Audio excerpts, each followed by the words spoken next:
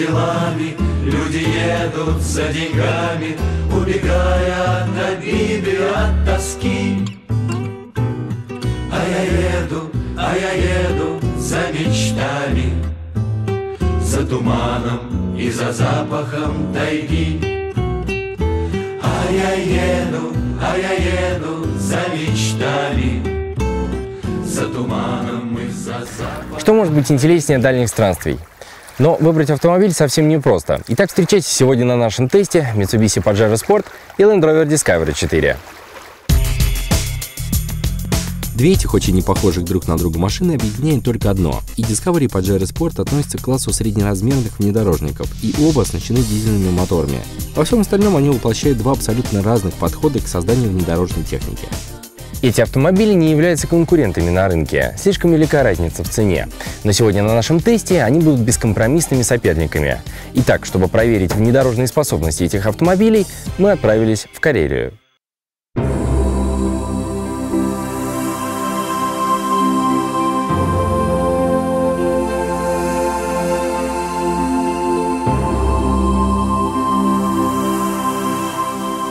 Карелию не зря называют настоящей меккой автопутешественников. Их влекут туда не только уникальные ландшафты русского севера, не только памятники деревянного зодчества, но и разнообразные дорожные условия, реальные трудности и серьезные приключения. Объективно оценить наших двух конкурентов мне помогут два специалиста по внедорожному делу. Александр Давидюк, здравствуйте, Саша, Привет. и Андрей Судьбин. Добрый день. Ну что, по машинам? Да, Вперед! машинам.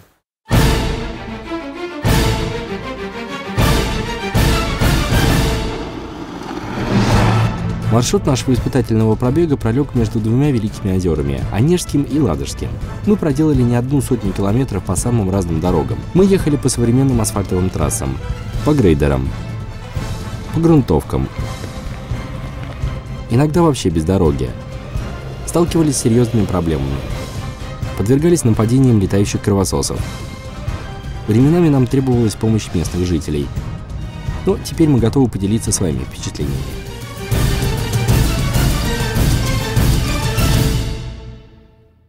Итак, первый раунд. Сравниваем машины снаружи. В синем углу белый Discovery 4, в красном черный Pajero Sport. Гонг. Конечно, никто не будет выбирать автомобиль для путешествий, исходя исключительно из внешности, но есть некоторые моменты, на которые стоит обратить особое внимание. Например, возможность крепления багажника на крышу. С этим вопросом у обоих наших конкурсантов полный порядок. Багажные рейлинги присутствуют. Другой не менее важный вопрос – доступ к буксирным проушинам. У Pajero Sport они размещены хоть и под бамперами, но все же открыто. Что касается буксирных проушин. Например, спереди у меня удобный буксирный крюк. А у тебя? А у меня впереди проушин нету. Ну, в общем, может, это и к лучшему, потому что такой машине ни к чему рваться только вперед. Надо вовремя отступить, объехать препятствие. Наконец, вопрос о колесах и колесных дисках. На самом деле вопрос из важнейших. Наш Discovery был обут в низкопрофильные Pirelli Scorpion с чисто шоссейным рисунком. И именно с ними мы хлебнули немало горя. Шины, так нравившиеся нам на гладком асфальте, не вынесли столкновения с разбитыми карельскими дорожками местного значения. Мы как раз обогнули Онегу север и двигались от Медвежьегорска в сторону печально известной Кандапоги. В какой-то момент участников пробега волновал только один вопрос. Дотянет или нет до шиномонтажа колесо, из боковины которого торчит пучок из четырех жгутиков сырой резины.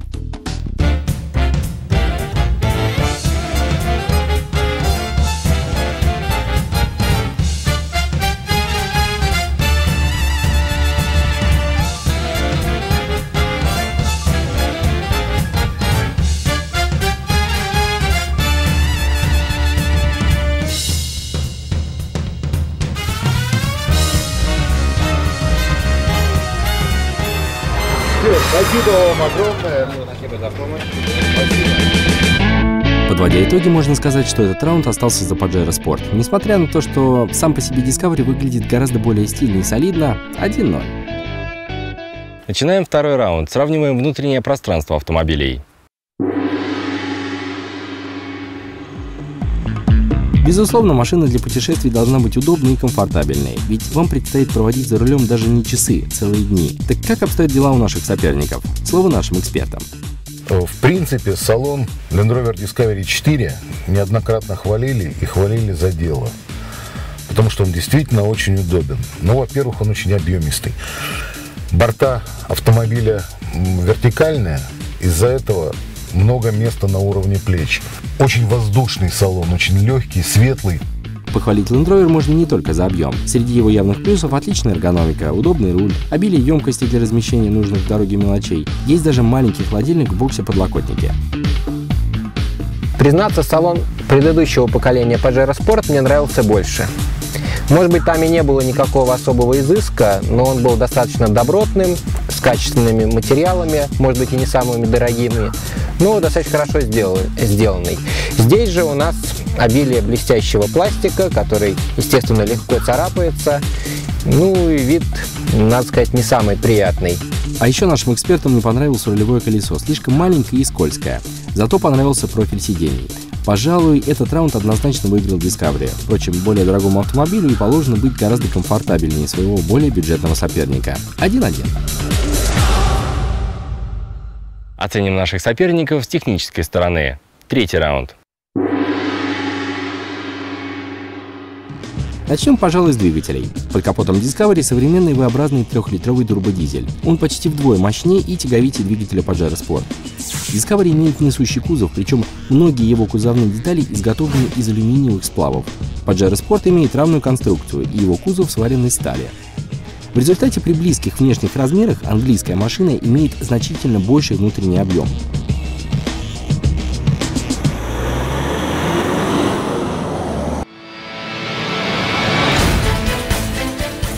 Сердцем системы полного привода Pajero Sport является разработанная еще в 1991 году проверенная временем и Дакаром многорежимная трансмиссия Super Select 4 WD.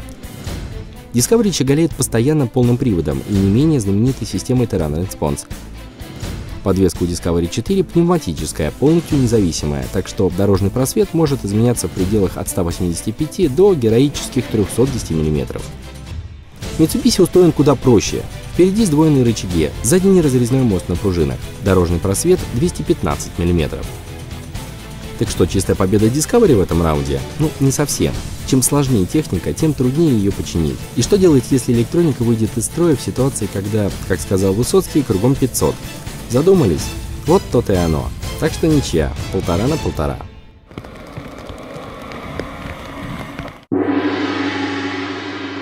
Четвертый раунд. Сравниваем поведение автомобилей на дороге. Ребят, поехали.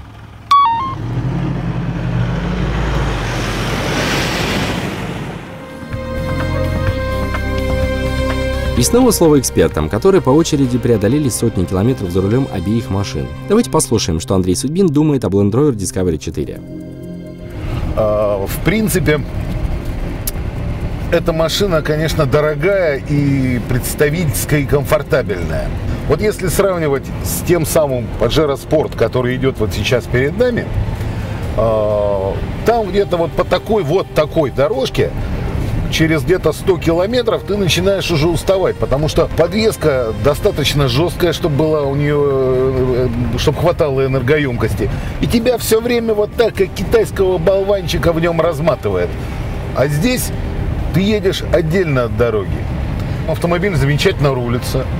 Э, при этом он очень динамичен. Э, нет никаких проблем во время обгона, например, набрать 160-170 км в час, причем очень быстро. У него вполне адекватные тормоза. То есть на трассе ты себя чувствуешь уверенно, спокойно, комфортно и можно не уставая проехать очень большое расстояние. Одно важное замечание. Любому человеку, который покупает Land Rover Discovery для поездок на большие расстояния, мы порекомендуем брать дизельную машину. Прежде всего из-за того, что расход горючего в разных дорожных условиях у них различается очень мало. Это позволяет точно рассчитать потребность в топливе и спланировать места заправок. Подобную предсказуемость показал и Discovery, и Pajero Sport. Но что думает о поведении на дороге его основной водитель Александр Давидюк?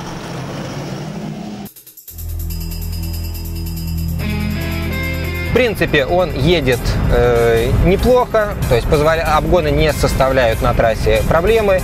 Э, но когда вы съезжаете с бездорожья, все-таки тяги не хватает на низах. И приходится чаще переходить на пониженную передачу, чем этого хотелось бы. Конечно, трех, э, трехлитровая версия в этом плане выглядит более выигрышной. Вот.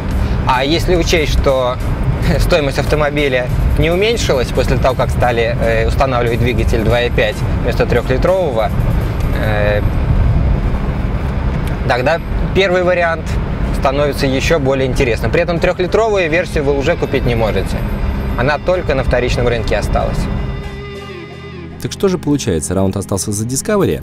В целом, пожалуй, так оно и есть. Но это не нокаут, а победа по очкам. И вот почему. Во-первых, японский внедорожник оказался совсем неплох. А во-вторых, однажды Discovery нас сильно напугал. После остановки его подвеска вдруг самостоятельно опустилась в нижнее положение. Коробка отказалась переключаться в драйв, а на дисплее посыпались сообщения об ошибках. Справились с бедой мы по компьютерному методам перезагрузки. Просто выключили, а потом вновь включили зажигание. Тем не менее, полтора на два с половиной.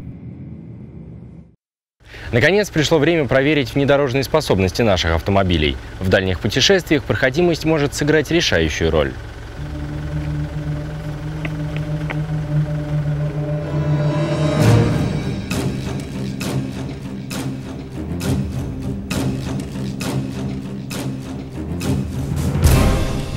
Ну что, ты колес спускать будешь? Ну, конечно, буду. Зачем машину-то мучить? А я попробую так.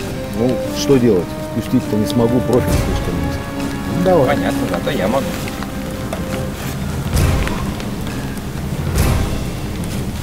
Буду пользоваться. Использовать преимущество высокопрофильной резины. Честно говоря, изначально мы были практически на 100% уверены, что победу в этом раунде одержит Discovery. Ведь в его арсенале более мощный тяговитый мотор, значительно больший дорожный просвет и блокировка заднего дифференциала. Вот только в жизни все оказалось куда сложнее. В каких-то местах наши бойцы действовали абсолютно на равных, проходя препятствия безо всяких проблем. Серьезные испытания ждали нас в тяжелых, мокрых от дождя песках на берегу Ладожского озера. Мы добрались до станции Видлица и решили по берегу доехать до места, где проходит этап под названием «Дюнная гонка» знаменитого рейда Ладога Трофи. И вот здесь совершенно неожиданно для нас Discovery спасовал. Как мы не пытались подобрать оптимальный режим работы системы Terrain Response, но все было тщетно. В местах, где Pajero Sport передвигался спокойно и уверенно, Discovery то и дело закапывался в песок. И тогда нам приходилось разматывать буксирный трос или толкать машину руками. Причем к процессу выталкивания присоединялись и местные жители.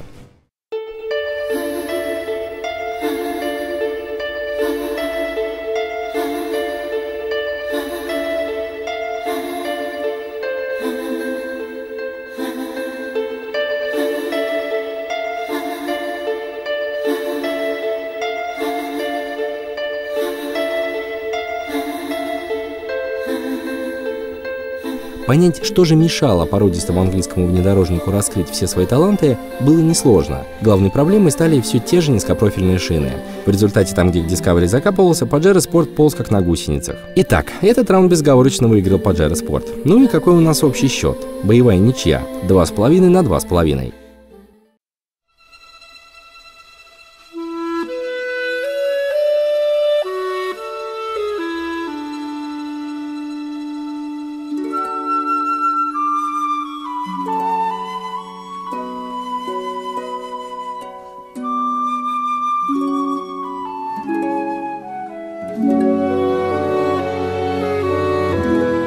Вот наше приключение завершилось. Как и ожидалось, мы не смогли выявить победителя, потому что каждый путешественник выбирает автомобиль по своим потребностям.